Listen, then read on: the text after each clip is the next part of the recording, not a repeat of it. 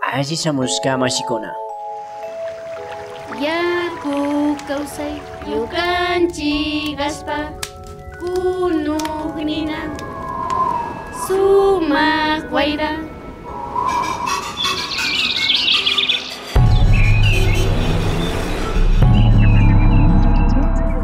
Minga por la Pachamama, una ventanita entre el campo y la ciudad.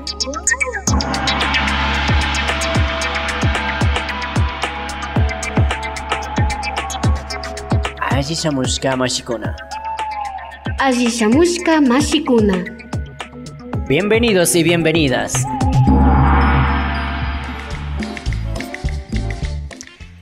Buenos días amigos, amigas de la Minga por la Pachamama. Un gusto acompañarles en este día de hoy. Muy buenos días, Marce. Muy buenos días, Eri, vecinos, vecinas, caseritas, caseritos escuchas, pues aquí enviándoles nuestro saludo desde el programa Minga por la Pachamama y a quienes están ya alistando su mesa, sus platos, ¿no? Pues les deseamos un buen provecho.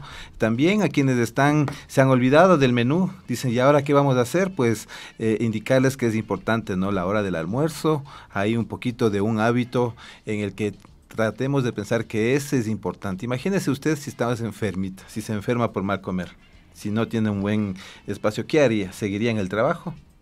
Así no, en realidad Claro, es, es- pues, esas cosas que a veces nos olvidamos. Como que uno ¿no? piensa que es máquina, pues a las máquinas también hay que tratarles bien y usted como ser humano mucho más. Así que les deseamos pues ahí nuestros saludos fraternos y ojo, ¿no? Ojo con el cuidado que debemos eh, tener tanto individual como colectivo y en la familia. Y muy contentos también. Yo eh, venía para acá y era pensando, ¿no? En que vengo a la cabina de la Corape y todo este esfuerzo que se ha hecho, ¿no? Todo un esfuerzo eh, eh, con toda la estética, ¿no? Que uno se siente bastante a gusto y, ¿por qué no? Pues enviarle las felicitaciones a todo el equipo de la Corape, que muchas mentes, muchas manos, muchos tiempos para poder estar aquí presentes en este espacio en vivo y en directo. No, en realidad, eh, lindo estar aquí en la cabina de la Corape, se han esmerado en realidad para tener este espacio. Claro, ahí es todo en vivo, ¿no? Todo Ajá. así físico, no es que le ponen solamente el fondo verde y ya está, sino, sino todo que ahí. todo es real. Claro, todo es real. Eh, hasta el hasta, Hasta el, el- hasta el hasta DJ. los- que hay dos, ¿no? Dos, Uno en la tele y, Y otro en la radio. Así la- que saludos audio. fraternos a, a los dos, a las personas, bueno, y a las personas también que eh, también no están aquí en la cabina, ¿no? Y por supuesto enviándoles nuestros saludos fraternos a todos los eh, compañeros y compañeras de los medios, de las radios comunitarias que también se suman en esta minga y transmiten y retransmiten, ¿no? A quienes están eh, día a día, ¿no? Hemos saludado también eh, por los 50 años de Aler. Ah, cierto, esas novedades, ¿no? Claro, estuvimos Justamente ahí. estuvimos ahí en los inicios de los festejos de los 50 años de Aler. Y pues ahí aprovechamos algunos compañeros que eh, el saludo fraterno, ¿no? Al compañero pues eh, de la radio Runacunapac, ¿no? Saludos fraternos. A don Manuel Yanchaliquín, ¿Cómo le va con la retransmisión? Pues dice, vea, dos veces. ¿Así? Claro, y está muy bien, muy contento, ¿no? Ahí también eh, espacios en donde vamos aprovechando también a saludarnos, a darnos estos abrazos que eh, la pandemia nos eh, quiso quitar, pero pues ahora lo Ya. estamos ahí con más sentido, ¿no? Así que les enviamos pues saludos a las radios que retransmiten como es Radio Latacunga en Cotopaxi, Radio Antena Libre en Esmeraldas. Radio Alfaro en Manabí, Radio Buen Pastor en Loja. Radio Erpe en Chimborazo, Radio Frontera en Tulcán. Radio Irfayal en Pichincha, Radio Runapucunapac en Bolívar. Radio Ideal Tena en Napo, Radio Sucumbíos en Sucumbíos. Radio Salinerito en Bolívar Radio La Voz de Guamote en Chimborazo. y Radio Intag en Imbabura. Así es. Eh, hoy día vamos a estar conversando ¿no? sobre el tema de el consumo responsable y cómo lo practica. Así que si usted es un consumidor responsable y lo está practicando o lo está intentando practicar, pues anímese a contactarse con nosotros, mensajes de texto, mensajes de WhatsApp, eh, a la línea minguera 0982 42 0922. 0982 420922 estamos atentos eh, con la línea minguera pues eh, y atentos a sus llamadas a sus mensajes eh, por Telegram por WhatsApp por mensajes de texto pues aquí estamos atentos Ujú, Así que eh, si usted tiene algo que contarnos, algo que decirnos, algo de algún problema, alguna dificultad, algún hallazgo, tal vez algún desafío que haya encontrado en este tema de cómo practica el consumo responsable o cómo practica su consumo, eh, no dude en comunicarse con nosotros. Y por supuesto, eh, estamos también a través del Facebook de Corape Satelital y Minga por la Pachamama. Estamos también atentos, atentas ahí con sus mensajes. Sí, pues entonces, eh, amigos, amigas, bienvenidos, bienvenidas a esta ventanita entre el campo y la ciudad.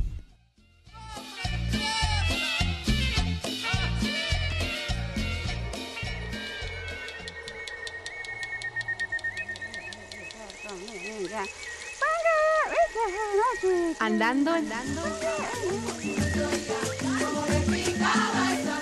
Andando entre los Andes. Un viaje de energía y saberes.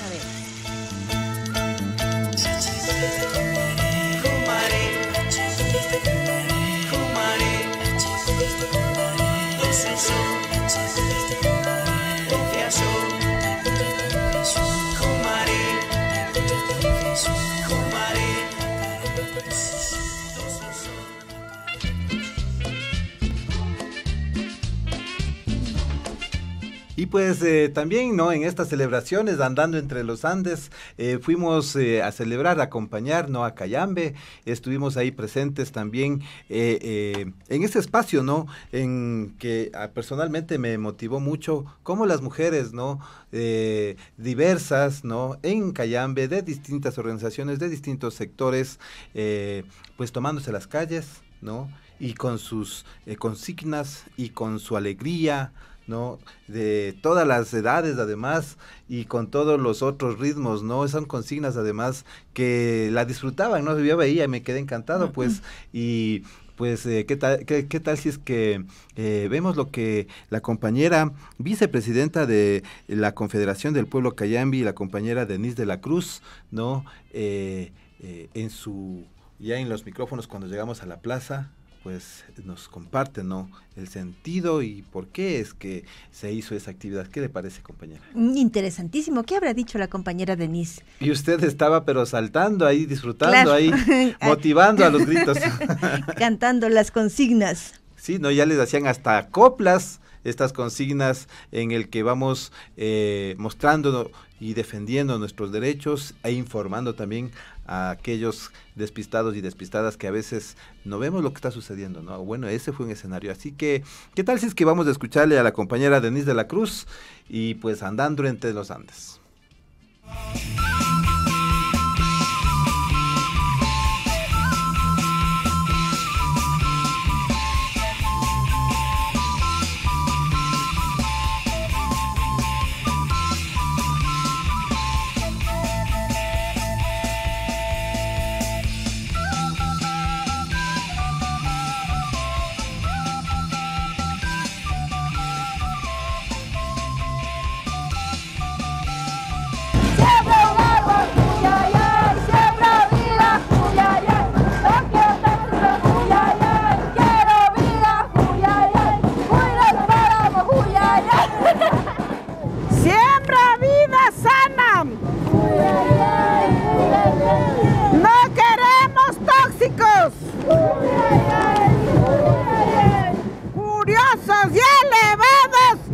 También son contaminados. Curiosos y elevados también son contaminados.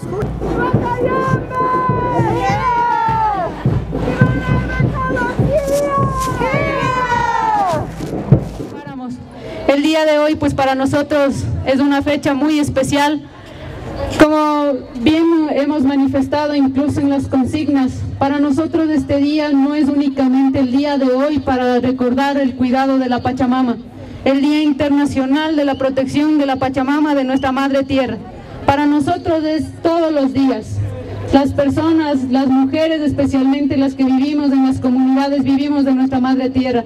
Es así que el día de hoy nosotros nos hemos dado cita en, las- en la calle para dar nuestras consignas y hacer entender a cada uno de los ciudadanos de que nosotros como comuneros, como mujeres indígenas, como hombres indígenas, hemos cuidado de nuestros páramos, hemos cuidado de nuestra Pachamama, hemos cuidado de nuestra madre tierra, porque es ella la que nos alimenta, es ella la que provee de sustento de alimentos para la ciudadanía, para la parte urbana, para la parte rural. En ese sentido, pues nosotros queremos también hacer la invitación a cada uno de los que están aquí presentes a promover el cuidado de nuestra Pachamama, a promover el cuidado de nuestra madre tierra, a promover el cuidado de nuestros páramos, a promover el cuidado de, todos nosotros, porque si no estuvieran ustedes, mujeres indígenas, hombres indígenas, en las partes altas de nuestros páramos para cuidar, no sé qué el día de hoy estaríamos contando. Hemos también indicado a manera clara y puntual que nosotros no estamos en contra de absolutamente nada de ningún tipo de producción, pero sí hemos hecho el llamado para que cuando hagan el manejo de, de químicos agrotóxicos, pues sí, también se, se, molesten en manejar de manera correcta los desechos tóxicos. Hay un método para manejar este, estos productos tóxicos, pero también nosotros hemos promovido como Confederación del Pueblo Cayami, como Grupo Cantonal de Mujeres en la que ya me antecedió la compañera Hildita, y quiero también extender un saludo cordial a la compañera Hilda Villalba, se ha venido promoviendo la, implementación de huertos familiares, pro, se ha promovido también la agroecología. La agroecología en qué consiste de promover los productos libres de tóxicos, libres de agroquímicos y en, en, ese sentido se ha venido trabajando.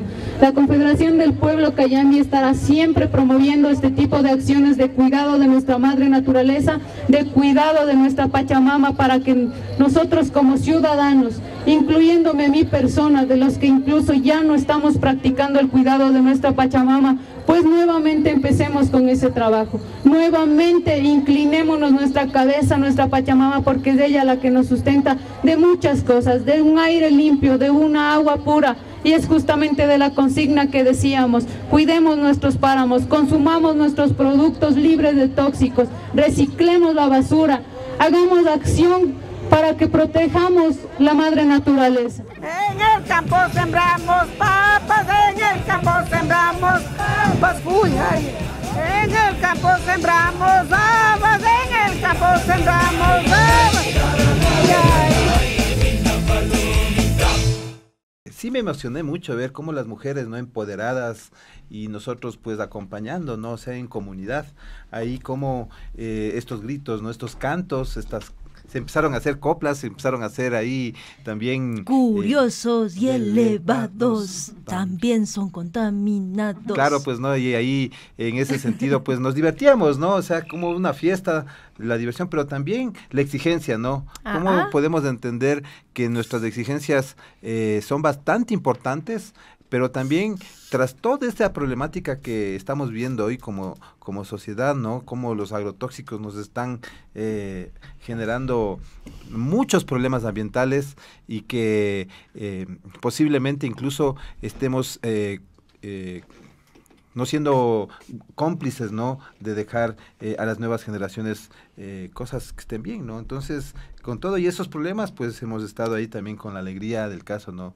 De todas las generaciones. Uh -huh, pensando en este tema del consumo responsable, ¿no? Así es. Qué interesante dejar de consumir esos tóxicos químicos que envenenan a las plantas, envenenan al planeta, envenena a usted que le está poniendo ese tóxico y envenenamos a todos, ¿no? Y ahí Ajá. pensar el consumo responsable es inteligente, esto de pensar eh, esta sabiduría, ¿no? De cómo producir esos alimentos ricos, sanos de nuestra tierra, pero libres de agrotóxicos. Así es, pues, y también eh, damos también la bienvenida, pues, ¿no? A nuestra querida amiga, nuestra compañera, que también nos vemos en vivo y en directo a los dos, a, más de los dos años, ¿no? Acá en este espacio. Eh, bienvenida, pues, eh, eh, Diana, ¿no? Y qué tal si es que hacemos este saludo de con quién tenemos el gusto y qué tal ves, pues, este nuevo espacio acá uh -huh. en línea que estamos en las radios comunitarias, pero también en este formato de la televisión comunitaria, ¿no? ¿Cómo le ves, pues, este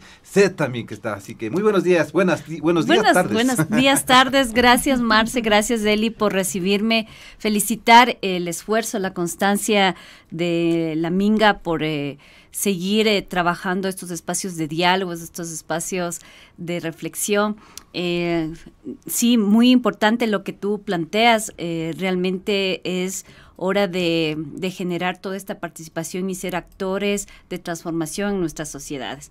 En eh, en, hubo un webinar en, internacional el día de ayer y realmente fue escalofriante escuchar los datos que se han generado de investigaciones científicas tanto en Chile, en Argentina, en Bolivia eh, con respecto a toda esta intromisión brutal que han sido la imposición de agrotóxicos. Uh -huh. eh, una investigadora francesa hablaba de que eh, están a, a, lavándose la, las manos, ¿no? La Unión Europea botando todos esos tóxicos, esos agrotóxicos, alrededor de 60, dicen ellos, eh, hacia los mercados latinoamericanos cuando esos ya son prohibidos en la Unión Europea. Entonces no se ve un, un proceso de reciprocidad ni, ni de cuidado de la salud, o sea, sálvese quien pueda. Mm. O sea, nosotros nos salvamos, somos los que tenemos más recursos, los que contaminamos más, nosotros sí nos, cura, nos salvamos. Nos salvamos no, y el resto... desarrollo, ¿no? Exacto, y el resto hay que vea cómo se gasta, ah, porque ellos no pueden perder, claro, ¿no? Ellos no pueden perder. Eso te iba a decir, nos salvamos, pero tampoco gan eh, perdemos la plata, Exactamente. Sino que hay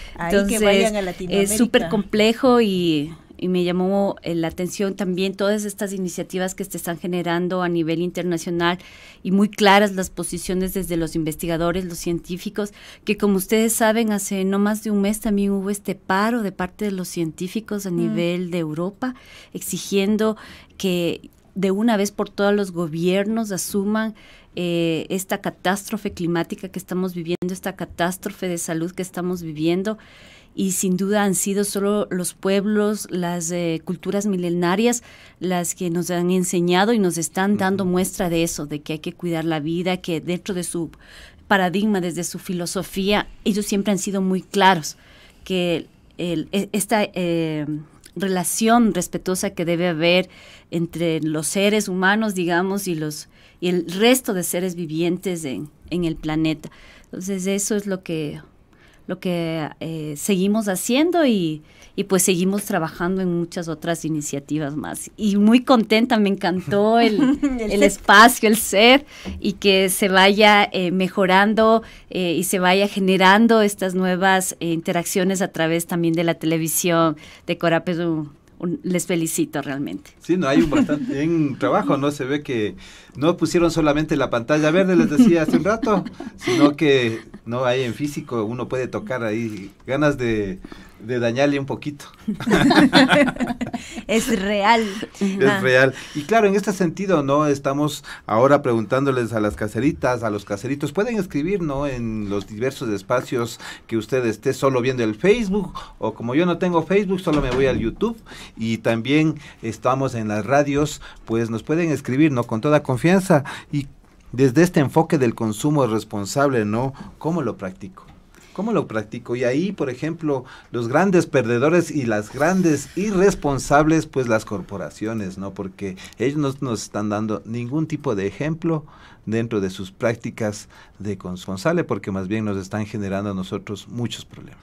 Sí, yo el día de ayer también estuve escuchando con atención eh, a dos mujeres lideresas de la zona del sur uh -huh. en un taller que armó un instituto tecnológico en esta temática de agroecología. Ajá. Eh, Nancy lo decía muy claramente, ella es parte de las mujeres que han construido un proceso de, de ferias agroecológicas en Loja y, y, ella estaba recontra preocupada de que lastimosamente siempre han sido las organizaciones sociales, las organizaciones campesinas las que les tienen que dar salida y solución a las problemáticas en el caso de la pandemia de la alimentación.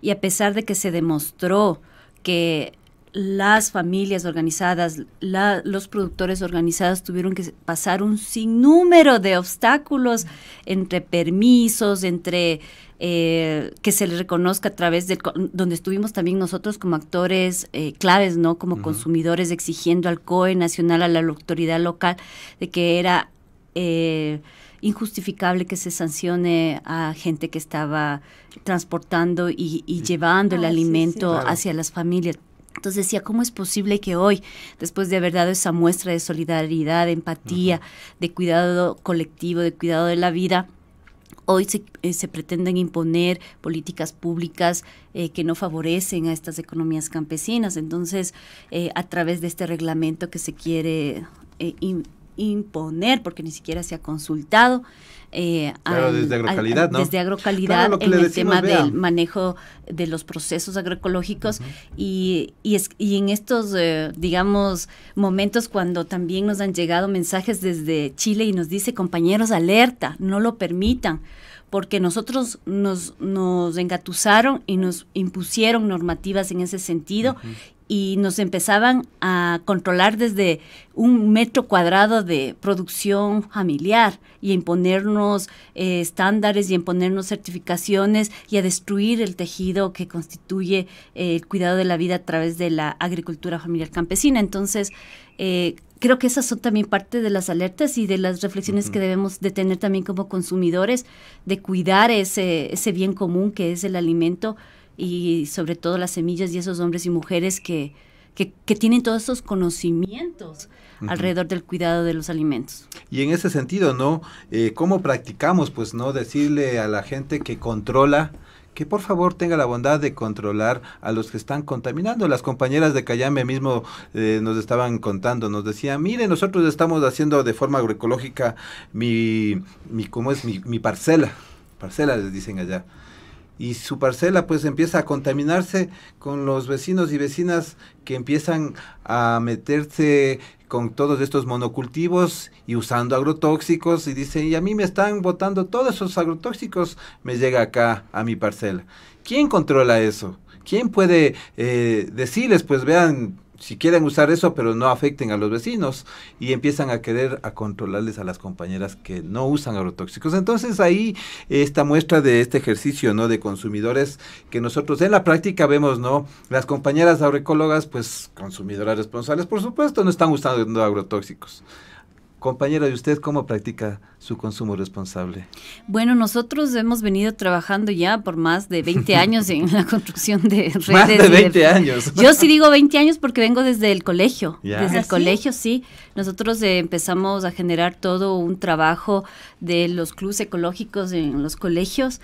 Eh, además de eso, participamos activamente en educación ambiental, que se llamaba fuimos las forjadoras de que se cree este espacio en, lo, en quinto curso, ¿se acuerdan cuando nos daban esta optativa o si De queríamos del premilitar o si queríamos Trabajo social. trabajo social. Nosotros eh, inauguramos, digamos, por lo menos en mi colegio, exigimos a través del Ministerio de Educación que nosotros queríamos hacer educación ambi- ambiental ¿Así? ¿Qué colegio? en el 24 de mayo.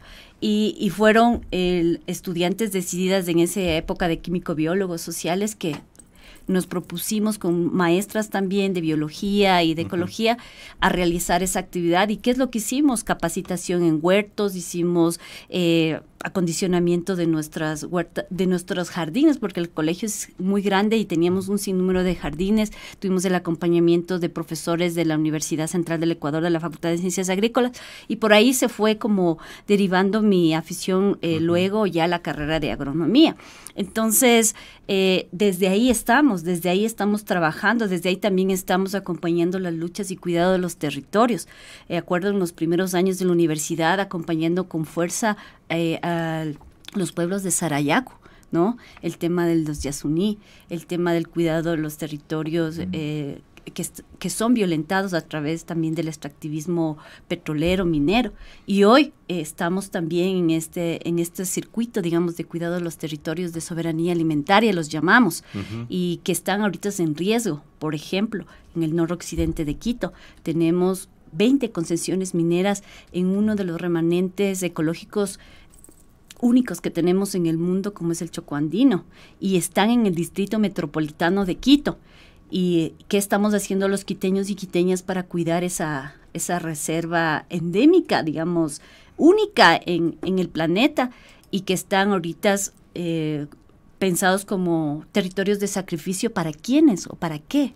¿Y sacrificar qué? Exacto, y todo lo que se sacrifica. Entonces, eh, apoyamos hoy también ya una lucha de más de 25 años que se pudo concretar a través de la de una resolución de la Corte Constitucional que es este pedido de consulta popular eh, en, la mancomunidad del Chocó aquí en el Distrito Metropolitano de Quito y donde se va a hacer ejercicio de un de este derecho directo a través de la consulta popular y, y, se les consulte pues a los quiteños y quiteñas, a toda la gente votante en el Distrito Metropolitano de Quito si está de acuerdo o no de que se genere minería metálica a cielo abierto en, en, en, nuestro, en nuestro territorio.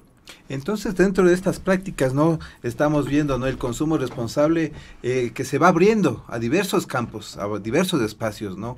El espacio, por ejemplo, de la producción, ¿no? Uh -huh. No es que quien uh -huh. produce no es consumidor, ahí está, consumidor. claramente, consume los agrotóxicos, consume. Decide, ¿no? Decide, claro. Decide, decide. consumir los agrotóxicos o decide ver una otra forma de producir alimentos dice, donde dice, espere un ratito, ajá. yo no quiero. Yo no me quiero envenenar, yo quiero cuidar a mi familia, quiero cuidar a mi entorno, quiero cuidar a la gente que va a alimentarse, pues ahí está una práctica, no, otras prácticas en donde uno va estudiando, ¿no? Que posiblemente sean decidoras para lo que después uno va a hacer ya en la vida profesional, ¿no? Estos espacios en las escuelas, en los colegios, en las unidades educativas, en donde, en donde se va viendo, ¿no? Este contacto con, eh, a través de los huertos, ¿no? Y esta forma de aprender a ahorrarse también porque hacer un huerto en una institución educativa es ah. me parece que la enseñanza de cómo organizarnos uh -huh. ¿no? consumo responsable tiene que de ver planificar entonces, no de claro, proyectarnos hacia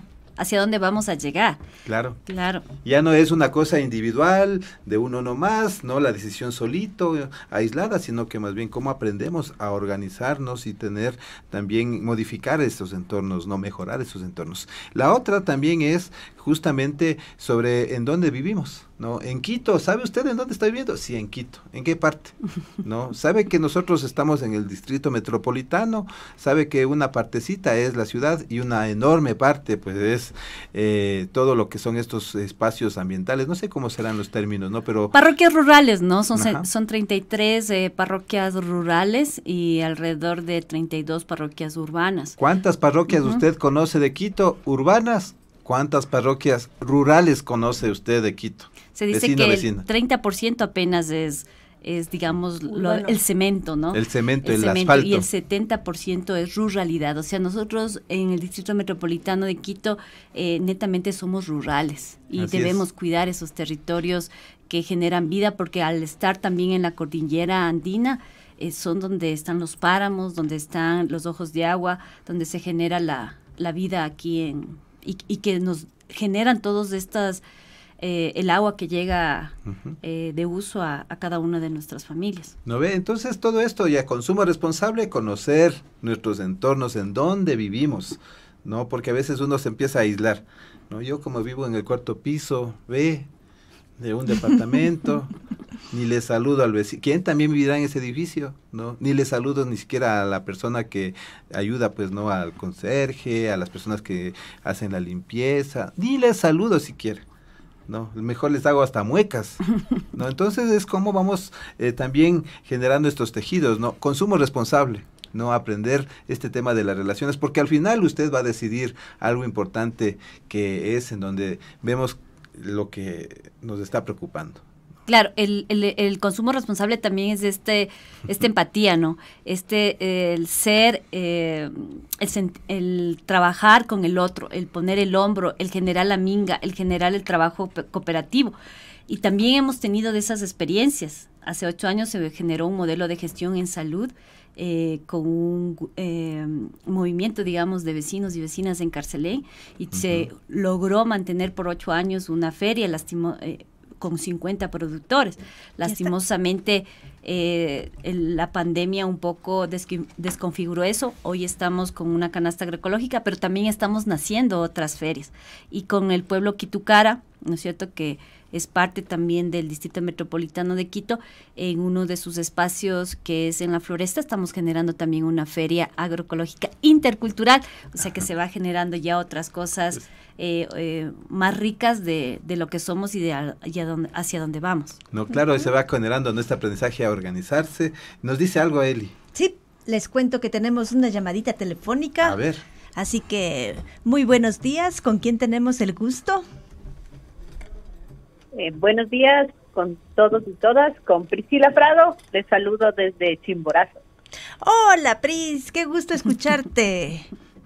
Eh, estamos conversando el día de hoy sobre el tema del consumo responsable y cómo lo practicas. ¿Quieres contarnos cómo practicas este tema de consumo responsable en Chimborazo?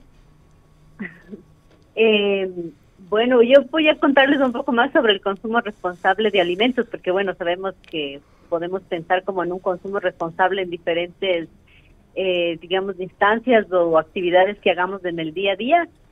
Entonces, eh, aquí en, en Chimborazo y digamos en la Sierra Centro es bastante accesible el tema de que tú puedes encontrar estos espacios donde hacer un consumo responsable pensando en que el consumo responsable es justamente estar consciente de lo que yo elijo para comer, ¿no?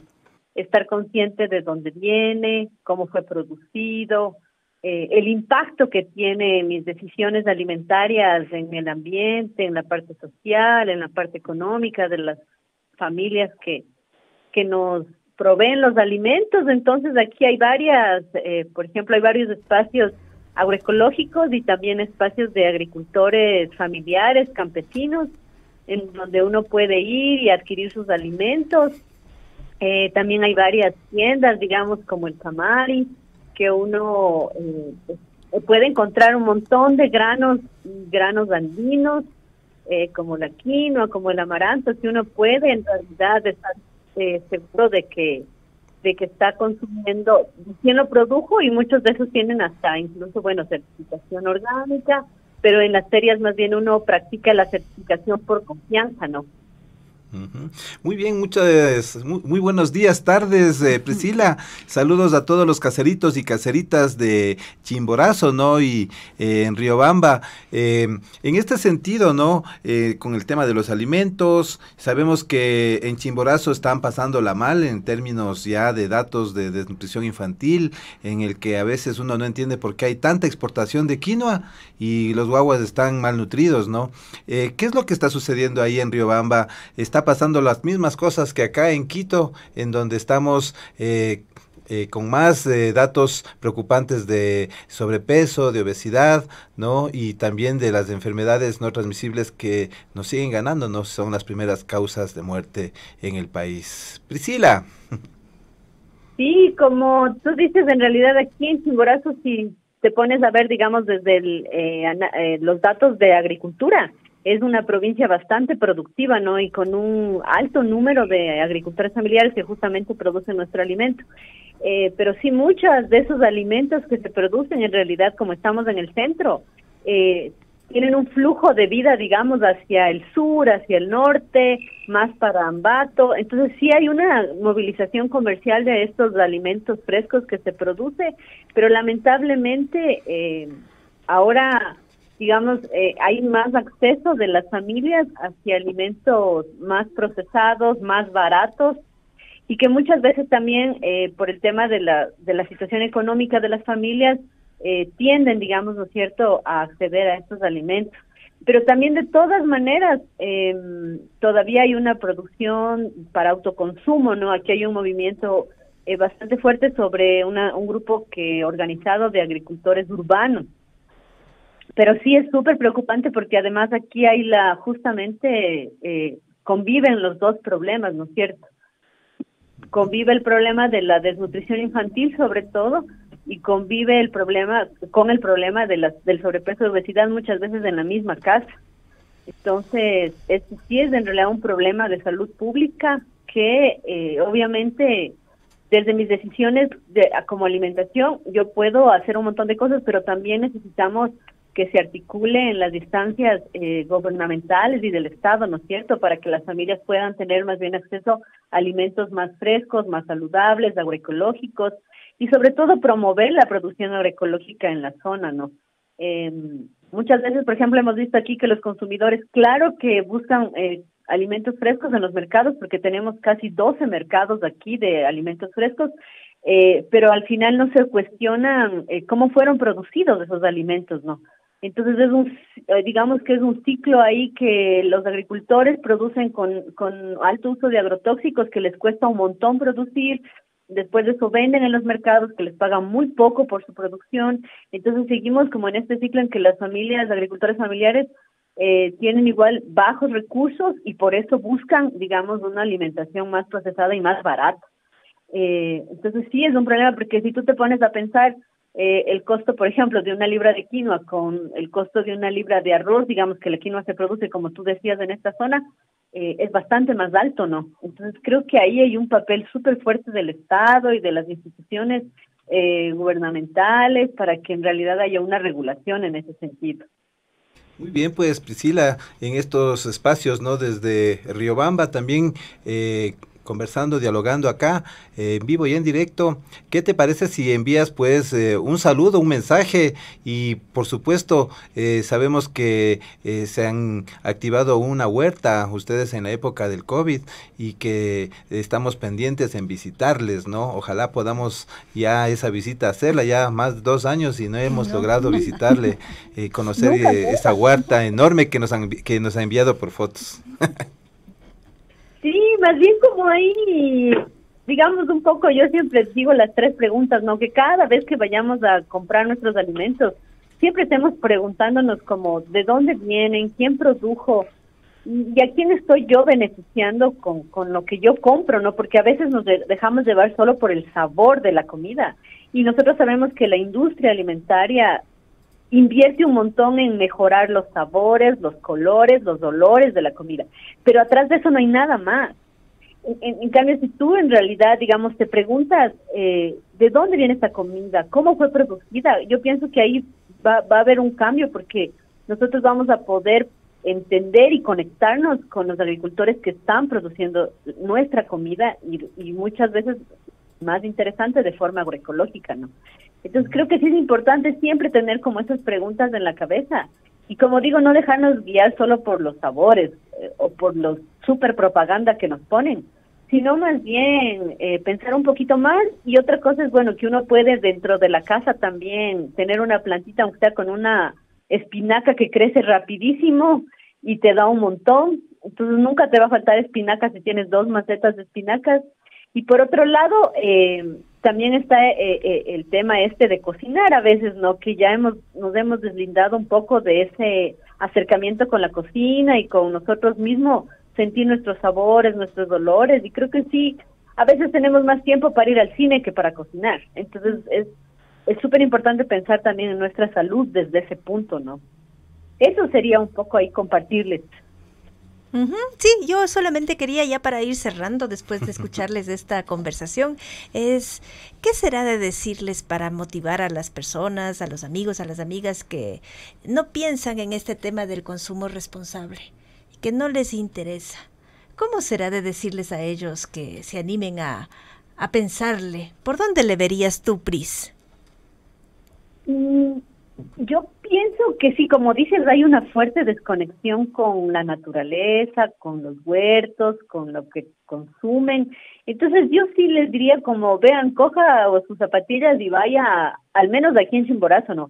Vaya dos kilómetros afuerita y vea la realidad del productor, vea lo que está pasando el productor y haga el favor de comer un poquito más de comida fresca si ya la gente empezara a comer un poco más de comida fresca, creo que de todas maneras impactaríamos. Y si esa comida fresca es agroecológica y directa del productor, impactaríamos aún mucho más. Entonces es como, vea, vaya, conéctese con, con, la, con, con el, lo rural, con de dónde viene su comida. Muchas gracias, Pris. En realidad ahí el mensaje clarito, ¿no? Fuerte y claro. Dos veces he escuchado ya este tema de la conexión Gracias, Pris. Muchas gracias, Da. Gracias también. Muy bien, pues estamos ahí, pues Dianita, fíjate cómo es, ¿no? Esta vinculación, esta eh, entender cómo hacer para que nos escuchen, ¿no? Y dentro de ese consumo responsable de alimentos vemos eh, que no conforme con saber de dónde proviene, no conforme por saber de que hay que apoyar, ¿no? Esta economía, no conforme por conocer a quienes producen, también experta en armar ferias, experta en armar ferias desde la ciudadanía. ¿Cómo entender que un vecino de un barrio ¿no? Vecinos de barrios se organicen para que venga otra gente de afuera, decimos, ¿no? que son de comunidades y puedan estar ahí comercializando. Esto es como intercambiando también, ¿no? Es como entender, ¿es posible eso? Eh, capaz y que hay en algunos sectores que digan, yo también quisiera esos productos, pero no sé qué hacer. ¿Qué diría ahí, Dianita? Eh, claro, es un ejercicio eh, realmente de, de ciudadanía y de compromiso porque y de conciencia y un poco en la práctica para dar un ejemplo a la autoridad local.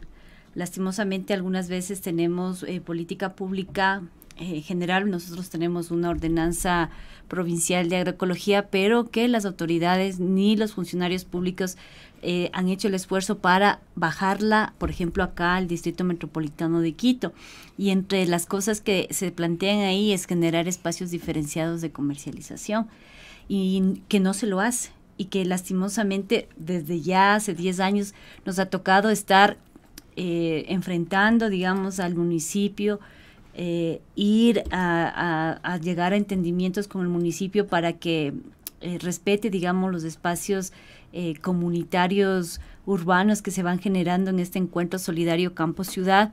Estábamos llegando a grandes avances, llegó la pandemia y se olvidaron del asunto y hoy nos persiguen como si fuéramos comerciantes informales o como si fuéramos eh, gente que está eh, haciendo eh, quedar mal a la ciudad o está ensuciando y realmente no es de eso. Estamos generando un espacio de salud, un intercambio solidario. Es, ya, ya se han generado también estos, estos lazos de amistad y lastimosamente por el no entendimiento de las autoridades, han perseguido a vecinos que nos abrieron la oportunidad de hacer en una canchita de, de, de básquet eh, y los amenazaron que los iban a sancionar, etcétera. Y a las, a las compañeras les han forzado a alquilar un local, un local que les cuesta 600 dólares más las, lo que les pide el dueño de casa. Y entonces ahí decimos que no es justo lo que está pasando a más de que ya con su trabajo, con su mal pago, con, con todas las horas de recarga eh, que tienen no pagas las mujeres eh, campesinas, hoy les toca otra carga más que es pagar un alquiler. Aparte de que no usan agrotóxicos, Tóxicos, exactamente. dan una respuesta al ambiente. Entonces siguen subsidiando el alimento en este país. Entonces eso es lo injusto. ¿Por qué nuestros hombres y mujeres campesinas de las zonas rurales tienen que seguir subsidiando el alimento de la ciudad? Claro, mientras tanto. ¿Por qué no es justo que se genere política pública en donde se pague subsidios a la gente para que no pase lo que dijo Priscila, que la gente en esa carestía de la vida entrega lo mejor de su trabajo, lo mejor de su alimento y ellos eh, a cambio están comprando lo peor, que ni siquiera es alimento, todos estos alimentos industrializados, Coca-Colas, estos, estos saborizantes, eh, etcétera, ¿no es cierto? Estos, estos rapiditos de cosas que no le, no le aportan. Ultraprocesados. Ultraprocesados, que no son alimentos. Estamos, estamos muy claro que no son alimentos. Y es por esta, este círculo eh, malvado, digo yo, de, empobrecimiento y que en donde los compañeros productores y productoras están en la mitad, ¿no? Entonces, eh, los consumidores, los productores organizados debemos exigir, y eso lo dijeron ayer las mujeres campesinas en este webinar, que necesitamos hoy más que nunca que se reconozca el trabajo a través de subsidios para los campesinos de la agricultura familiar campesina, y eso es, es justo. ¿Y qué van a decir ahí eh, los, eh, las instituciones eh, del Estado? Nos van a asustar, a decir, uy, están locos, no tenemos. Mientras mm. tanto están subsidiando a través de todo este tema de los agrotóxicos, ¿no? Todos estos paquetes, estos kits, que son ahí muy cercanos, muy aliados con las corporaciones.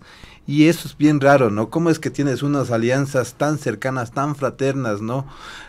tan rimbombantes con estas corporaciones, mientras tanto ahí estás a lo que o sea, no haces un impulso, no, no estás promoviendo y no estás haciendo alianzas con estos otros sectores que están haciendo su parte.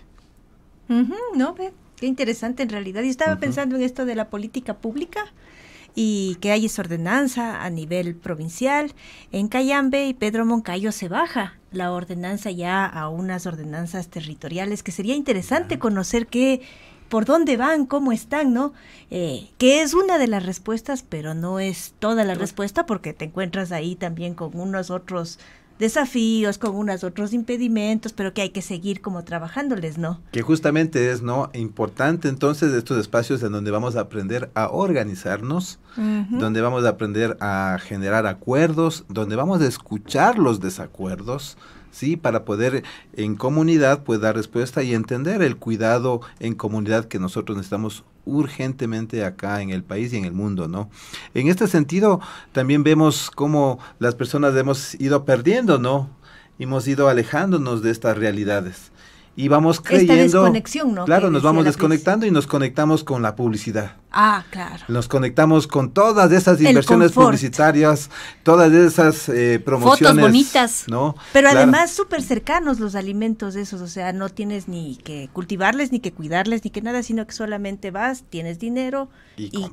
Por ejemplo, una de las acciones responsables que yo he ido aprendiendo dentro de cuando me dicen, oye, Marcelo, tú eres consumidor responsable.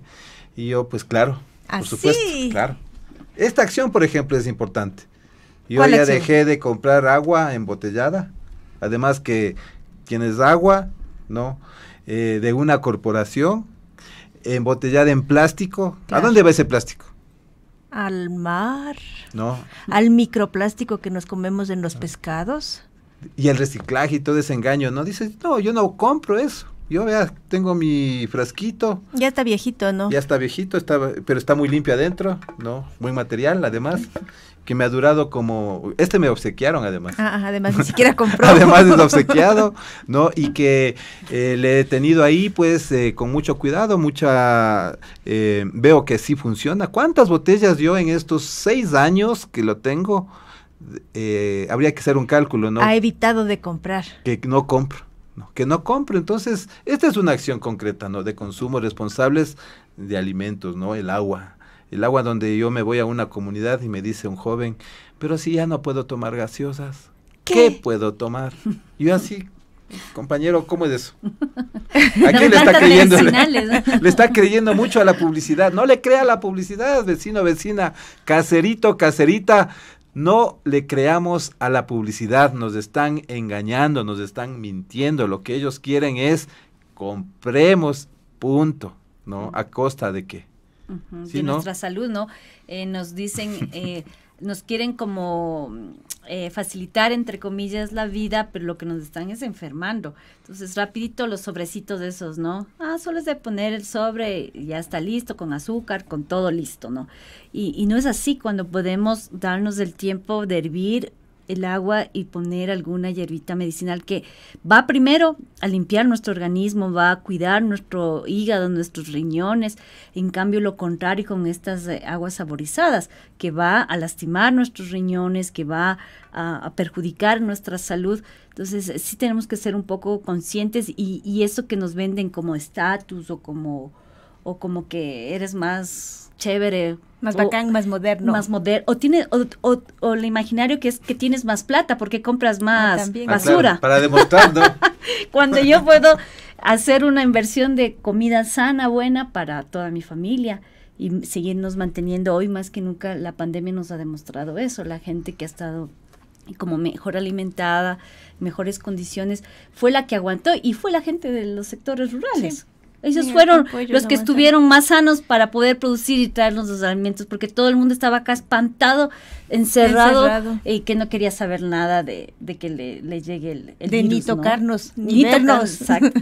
Y en cambio ellos se arriesgaron y, y, y lo hicieron con todas estas garantías de tener como una, una, una salud como más, más fuerte, ¿no? Entonces, eh, es algo que, que debemos seguir difundiendo, el consumo de productos frescos. ¿Y cómo lo vamos practicando? ¿No? Ya vemos, ¿no? Organizándose. Por ejemplo, en su barrio, en su comunidad, qué bueno es un aprendizaje, ¿no? Para sus hijos, para sus vecinos, para sus vecinas. Qué difícil también organizar una feria agroecológica.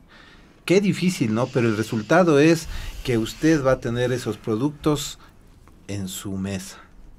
Bueno, ya, y si, y si es muy difícil organizar una feria agroecológica, Claro. digo yo, eh, importante ir a conocer, o sea, ¿En dónde? en dónde están, con quién me encuentro, ¿Dónde se encuentra? Claro, a mí me dicen, oiga, y usted, eh, yo por ejemplo ya, eh, las gallinas, por ejemplo, ¿no? Los huevos ya no son ya de estas marcas de corporaciones que además les alimentan con, eh, con cosas transgénicas, ¿no? Y que les ponen esas cosas que se hinchan. ¿no? Después uno Hormonas. también. ¿No? Claro. Entonces, ya están en mi mesa, por ejemplo, todos estos eh, animales menores, ¿no? Y estos huevitos y quesos, ¿no? Riquísimos, riquísimos, son diferentes, totalmente diferentes en el sabor y todo. ¿Saben en dónde? Me están diciendo, pero ¿en dónde? En las ferias agroecológicas. ¿Y dónde habrá las ¿Y dónde? ferias Las- digo, no conocerá. No, dicen. ¿Conoce el Supermaxi? Sí. ¿Conoce la feria agroecológica No. de la Carolina? ¿Conoce eh, estos supermercados? Sí. ¿Conoce las ferias? No. no les crea las publicidades, ellos nos hacen así una, nos ponen un, un tapa ojos, así solamente es como que pensáramos que existen supermercados. Y no, No. es así, también hay tiendas, ¿no? Solidarias. Tenemos eh, tiendas como el, el- bueno, ya un poco más grandes, como el Camari, pero Claro. también como el Guaruro Orgánico, como eh, las, los compañeros que venden en la zona de, a ver, ¿cómo se la eh, Mariana de Jesús también hay una tienda Ay, a- sí. a- agroecológica. Entonces, y las ferias, ¿no? Que generalmente se las trabaja a fines de semana. Eh, una de estas que están haciendo, porque recién vamos dos meses, es la del pueblo Quitucara, que Ajá. queda ver, pues, en la en la Coruña y Huipuscoa. En la Floresta. En la, Floresta, en la calle, eh, digamos, en el espacio donde es la casa del pueblo Quitucara. Entonces están cordialmente invitados. ¿De qué horas Y- a qué horas es? es desde las 8 de la mañana hasta las 2 de la tarde. Eh, lo propio los domingos, ¿no? En la feria de la Carolina, que se ha mantenido también históricamente aquí en nuestro, en nuestro, nuestra ciudad.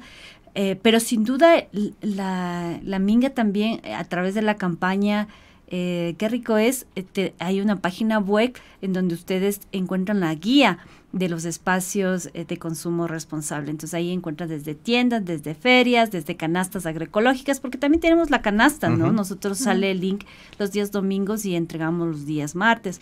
Entonces hay A varias domicilio. opciones a domicilio. Entonces hay varias opciones. Priscila nos recomendó y nos conectó con uno de sus familiares aquí en Quito y hoy nos compran ellos también la canasta. Entonces, también ir como sugiriendo, ¿no? A la familia, a la familia ampliada que tenemos eh, eh, estas opciones eh, de, de acompañamiento a las economías O eh, sea, campesinas. Hay opciones porque cuando hubo la pandemia empezaron a abrirse también opciones de entrega a domicilio que ahora todavía siguen, ¿no? Ahí, por ejemplo, usted eh, ha sido de responsable de, de que vayan también entregando canastas desde Cayambe, ¿no? A través de la Fundación CEDAL, a través de la red Biovida, ¿no? Ujú. Ahí Dos la compañera, canastas, ¿no? ¿no? Eh, desde, Car- desde Carcelén. Hay varias iniciativas, ¿no? Que son fraternas, ¿no? Son compañeras, no es que compiten, no es que son enemigas, En la Quino, en el restaurante La Quino, igual hay el, el- los días de feria, digamos, hay también la tiendita y ahí la donde podemos irnos a servir los almuerzos eh, sanos, saludables, ¿no? Claro, ahí la biotienda El Y Capulí. También. por ejemplo. Bien. Que ta- todas tienen, o sea, la mayoría tienen su servicio en línea, ¿no ve? En línea Porque- y también físico.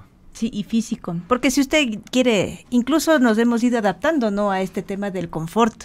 Si usted no quiere salir de su casa, si usted quiere que le lleguen los, los productos agroecológicos a domicilio, tiene varias opciones. Por ejemplo, está la canasta que organiza la Diana. ¿Cómo pueden hacer los compañeros para poder acceder a la canasta? Eh, nues- nuestra página en Facebook es Frutos de Nuestra Tierra y entonces ahí está el link. El link se activa los días domingos en la noche hasta el día, eh, que diga, el jueves en la noche hasta el día domingo en la noche. O sea, tienen un sistema en donde abren el Alanfor desde las Exacto. jueves hasta la Lanford digital, ¿no? Lanford Lanford digital. Exacto, desde el jueves en la noche hasta el domingo en la noche. Eh, de ahí nosotros eh, rápidamente ya organizamos los pedidos y, y el lunes, entre lunes y martes, los compañeros cosechan. Ya. Y el- entonces el martes nosotros ya estamos entregando. Con productos frescos los recién productos cosechados. frescos, recién cosechados, eh, que llegan de sectores de lejanos como de Pimampiro. Eh, tenemos eh, productos también de la zona de Pacto. Sí, también nos llegan productos desde Riobamba porque tenemos también abonos orgánicos. Ahí tienen conexiones, relaciones también. Exactamente, entonces eh, ayudamos también a otros esfuerzos eh, locales, ¿no? A través que, que hacen las humitas, que hacen los pastelitos, que son mujeres que están también dinamizando sus economías familiares. ¿Y ustedes cómo se organizan? Eh, usted para, para ¿Cuándo que- se abre la Lanford? ¿Cuándo se cierra? La Lanford Eh, digital. La Lanford Digital, en realidad eh, tenemos una página web que se llama cosechavida.org. Cada 15 días se hacen las entregas y se, hace, se hacen los pedidos hasta el día martes. Y se cierra. El- y se cierra la Lanford. El día miércoles los compañeros recogen, cosechan los productos y se organizan las canastas que se han pedido y el día jueves ya se hace como la entrega. Esto cada 15 días. Pueden ver mayor información en la página web www.cosechavida.org. Así que vecinos, vecinas, caseritos, caseritas, escuchas que están ustedes también con su tienda en línea, que tienen productos frescos, que hay un precio justo, ¿no? O que tengan un restaurante o que tengan una tienda, pueden comunicarse, ¿no? Nos pueden enviar mensajes de texto, mensajes de WhatsApp, mensajes de Telegram al 0982 42 0922 para remitirles a la campaña Qué rico es, en donde van a tener su plataforma y aquí vamos a estar atentos también para que la gente que nos dicen dónde se compran esos productos. No conozco esos productos, pues ahí está la oportunidad. Vamos a poner también nuestro granito de arena para que usted, vecino, vecina, tenga esos productos en estas mesas, en sus mesas y pueda garantizar su salud, porque en tema de salud aquí en el país, mal. Ocho años, diez años creo que estamos así. No estamos mejorando, nos estamos enfermando y estamos muriéndonos por mal alimentarnos. Yo lo que iba a decir también es que a los amigos, amigas que quieran, que tengan su emprendimiento agroecológico, su tienda, su canasta, su restaurante, eh, visiten, ¿no? www.guía.quericoes.org es una guía de autosuscripción en donde usted puede subir su anuncio y a través de ese espacio poder eh, que los amigos, amigas que estén en todo el país puedan conocer su espacio y ir directamente a comprar esos deliciosos productos agroecológicos. Imagínese usted en la familia ecuatoriana que tengan productos frescos, libres de agrotóxicos, agroecológicos en sus mesas. ¿Qué pasaría con la economía del país? ¿Qué pasaría con la salud del país? ¿No? ¿Cuántas familias eh, de la agricultura familiar y campesina se motivarían más para dejar el agrotóxico, sí, y para que se cuiden? ¿Qué pasaría ahí? ¿Qué Nos- pasaría con el paladar de Claro. los ecuatorianos? ¿Habría más desnutrición? No, ¿Habría más malnutrición? no. ¿Habría, seguiría estando en los primeros puntos, eh, los primeros lugares las causas de muerte por mal alimentarnos? Otros creo que sería. ¿No? Otra Sería- realidad viviríamos. Otra realidad, mire, solamente que, hay que, usted, vecino, hay que vecina, cambiar el, el chip, hay que cambiar el, eh, esta, esta rutina que nos han vendido de, de vida y, y transformarle a, a un mejor compartir, que es lo que nosotros queremos hacer a través del fomento de la economía social y solidaria, ¿no? Sí, y en estas prácticas del consumo responsable estamos ya con el tiempo Sí, señor. y pues está, eh, hemos visto, muchas gracias Yanita que eh, hayas venido pues eh, corriendo, has venido acá en estos nuevos horarios, con estos nuevos hábitos de horarios que estamos también eh, adaptándonos. ¿no? Sí, Yo ya perdemos estoy- el- el- la distan- el- los tiempos que nos de- demoramos, Demoramos. y distancias. Ah, porque ahora ya está Ya. todo más trafiqueado también. Sí, Claro, la normalidad, ¿no? Sí. Sí, La normalidad que no es la que nosotros debemos acostumbrarnos. no. Más bien ese tema que hay que irle pensando. Sí, un mensaje de cierre de Dianita para todo el país, para todo el mundo que nos está escuchando y que nos está mirando. Eh, que nos preocupemos por el cuidado de los territorios de soberanía alimentaria y que no se conviertan en territorios de sacrificio y que los ex- y que los cuidemos y que exijamos a las autoridades su cuidado. ¿sí? Eh, muchas gracias amigos, amigas. muchas gracias Diana por acompañarnos el día de hoy. Sí, muchas gracias. Pues y recuerden que el poder del caserito, el poder de la caserita. Está en el consumo responsable. Hasta la próxima. Hasta la próxima. Allí Samuska Mashikuna. Yaku kawsay yukanchik aspa kunugnina sumaq wayra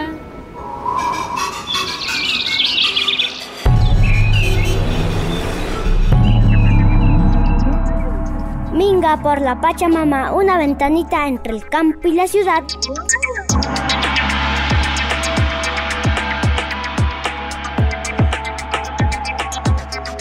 Allí Samuska Mashikuna.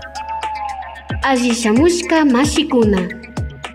Bienvenidos y bienvenidas.